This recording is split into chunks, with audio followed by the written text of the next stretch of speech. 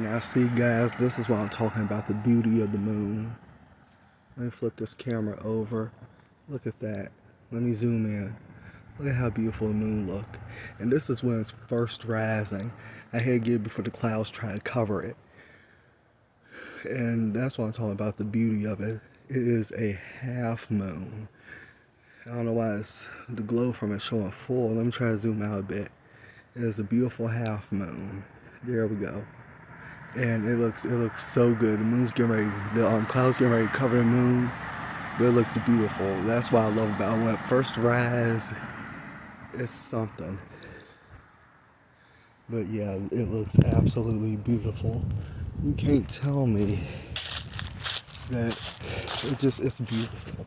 It is. But yeah, that's why I come out here sometimes, especially when you want to just relax and look at the stars or other planets or things like it's absolutely beautiful. That's what I was talking about. It just it puts a lot of things into perspective. You know, it's just it's something how beautiful the earth, the moon, other planets, stars, everything is. It makes you wonder what else is out there. You know, it really do. But that's why I always come out here and just to relax at times. Even though it's cold, it's like a bone chilling 30 something degrees right now. It's almost a little freezing.